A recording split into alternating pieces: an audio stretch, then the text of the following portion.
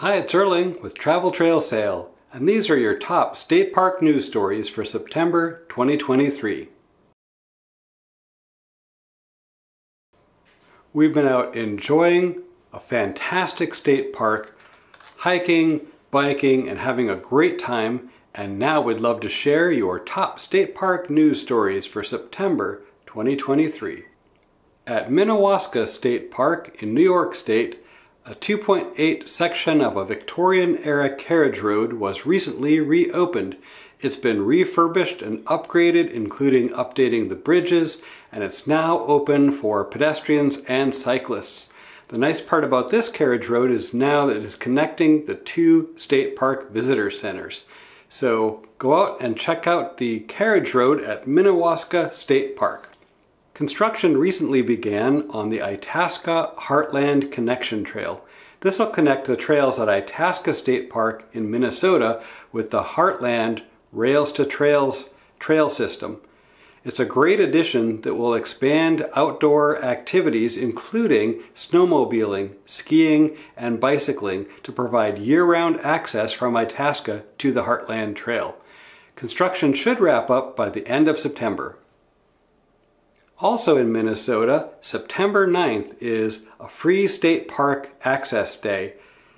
You can access any of the 75 state parks in Minnesota for free on September 9th. This is one of the four days per year that they offer an event like this. You can get more information on the Minnesota DNR website. At Travel Trail Sail, we love eating well when we're on the road and it sounds like West Virginia state parks might have something worth checking out. Several West Virginia state parks actually have restaurants, and they've recently partnered with chef Matt Welsh, who's been invited to update the menus, adding more local ingredients and locally inspired recipes.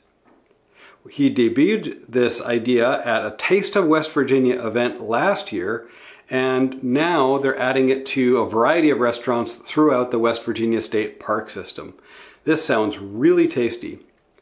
Matt's normal restaurant is the Vagabond Kitchen. Have you tried any of his recipes or any of the food at the West Virginia State Park restaurants? We'd love to hear all about it. Leave us a comment and share your thoughts. In Hawaii State Park news, Polihale State Park is planning a, planning a significant upgrade.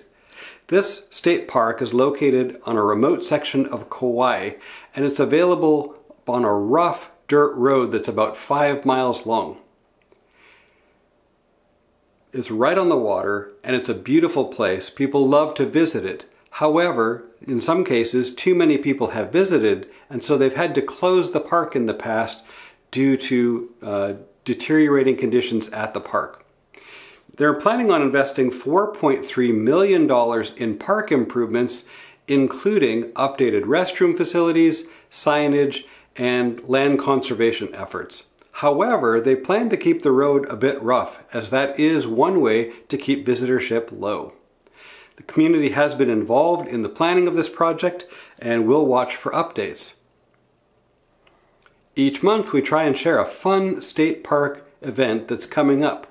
And this time we've actually got two to share, one for September, one for October. In September, in Missouri, you could actually go on what's called a guided bison saunter. This is a two mile leisurely walk across prairie looking for buffalo. Now, having been up close to a buffalo before, I'm not sure how close you actually want to get, but this might be a great way to check out uh, a natural prairie environment and you may get to see a buffalo. Sounds pretty interesting. You can find out more details on the Missouri DNR website. The other event we'd like to share is a Halloween hike. On Tuesday, October 17th at Heery Woods State Park in Butler County, Iowa, they're doing a frostbite themed hike. It sounds like a fun event rather than a scary one. You'll meet characters such as a penguin, a snowy owl, a narwhal, a caribou, and an orca on a 60 minute hike. Each of those characters will share what it's like to live in the cold environments that they live in. Sounds like a lot of fun. You can find out more details at mycountyparks.com. Well, that's our state park news for September. We hope you found it helpful and enjoyable. Of course, if there's something happening in the state parks near you, we'd love to hear all about it. Leave us a comment and tell us what's happening in your state parks. Thanks for joining us, and we'll see you soon.